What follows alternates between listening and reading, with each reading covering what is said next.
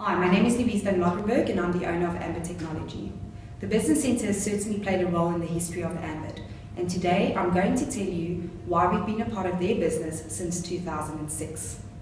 Ambit Technology is a sales-orientated business and the Business Centre's service offering supports our business model. The Business Centre expanded nationally in 2013 and so did Ambit without the worries of day-to-day -day operations. I guess we're part of the furniture.